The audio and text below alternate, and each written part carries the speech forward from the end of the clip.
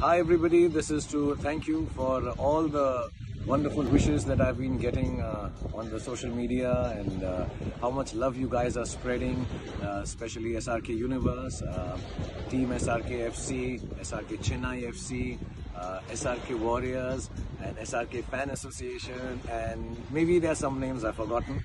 Uh, but to all of you, you know who I mean, all of you. Together all the loving fans and all the boys and girls and uh, more than wishing me on my birthday i know some of the work that you boys and girls have been doing you know giving your time and resources to people who are in need right now in these times. Uh, the ppe kits you've been doing the blood donations that have been happening going and helping out people everywhere. I think that's the most wonderful uh, work that we can do because uh, you can't be a lover boy like me without spreading love. So thank you all of you for spreading the love uh, from far, from near, from whatever resources we have. So thank you so much and thank you for the birthday wishes. I love you all and uh, inshallah next year we'll all get together and have a bigger and better party like I've said already.